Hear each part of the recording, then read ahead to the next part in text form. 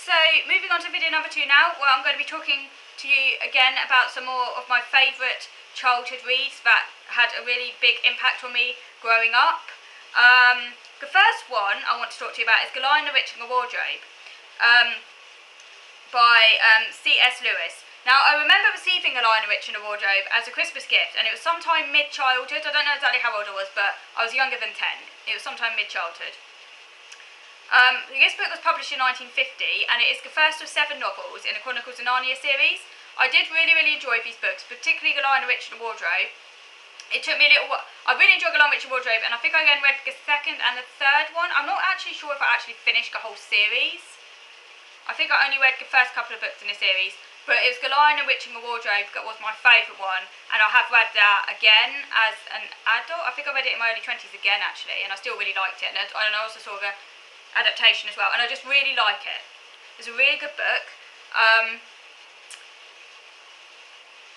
I think the other books after The Lion, the Witch and Wardrobe seem to get a little bit more complex, um, and I kind of found them a bit difficult to comprehend. But yeah, so Narnia is a fantasy land of talking animals and mythical creatures that is ruled by an evil white witch. Four English children move to a large old country house because of evacuation during the war. Lucy, the youngest, visits Narnia via a magic wardrobe but on her third visit, her three siblings accompany her. There is a lion called Aslan who gives his life to save one of the children, and he later rises from the dead, defeats the White Witch, and crowns the children kings and queens of Narnia. In Narnia, the White Witch keeps Narnia frozen in an everlasting winter and requires that any human found in Narnia be sent to her.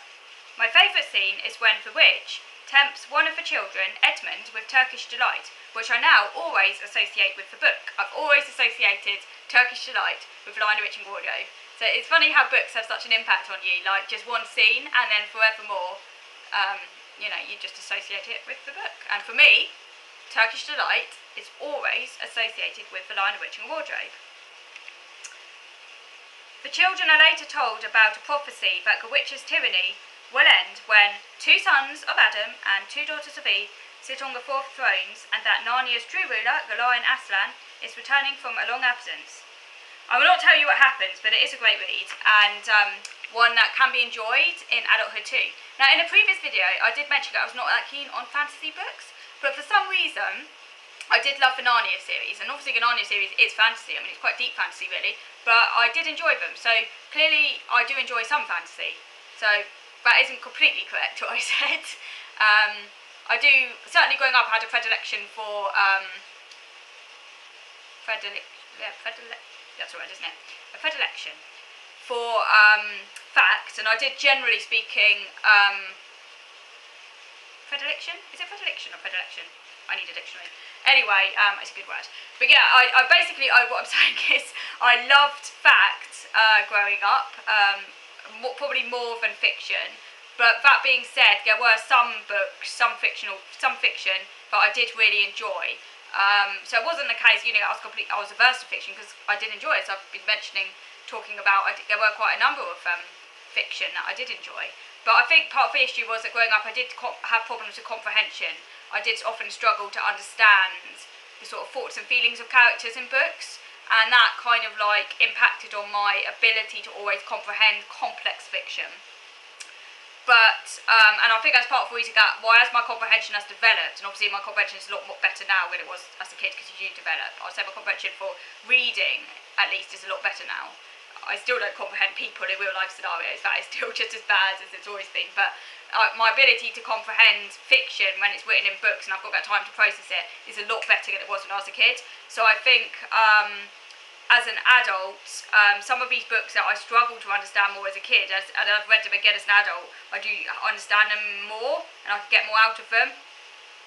But um, I did enjoy, as a kid, I did enjoy, although I don't think I really understood or I really got the kind of symbolic aspects that I can now appreciate as an adult, because um, it is obviously quite a religious text. Uh, basically, it's kind of um, sort of a, religious allegory, really, um, heavily based on like Jesus Christ and resurrection and things like that um, which I can understand now as an adult, um, which I didn't understand as a kid. Uh, but I still did enjoy that book as, a, as, as, I was growing up, and I think it's a really great read. Um, yeah, and um, there was a real life element in it as well because obviously the children themselves weren't uh, magical; they were real real children. Um, it's kind of like magical realism, really. You know, you did have the element of reality there. It wasn't like Harry Potter where everything is fantasy. Um, But yeah, as I say, when I read it again as a teenager as an ad- and as an adult, I could appreciate the allegorical and religious symbolism in a way that eluded me as a child. Um, and I, I, would actually like to read them again, actually, because they are really good books. So I now have to briefly mention the Horrible History sticker book series.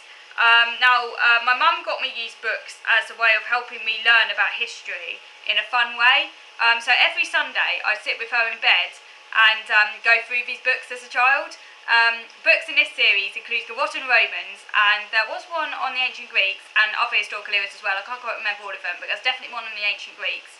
Um, and each activity book was full of disgusting facts and pictures. Everything smelly and horrible was covered, which is what made them so appealing to me as a child.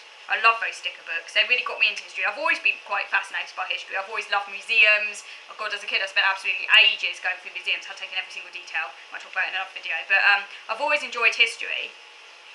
Um, so, yeah, so yeah, just kind of brought it to life to me really. And um, and I also had a horrible history reading book too, and it was about the Victorians. And I remember reading about um, the use of in schools and horrible food that was served. That was very interesting to me as a child. This sort of sort of age of eight, nine, that sort of age. Okay, so um, I'm going to finish now, but um, I hope to discuss more influential childhood reads very soon. So thank you for watching.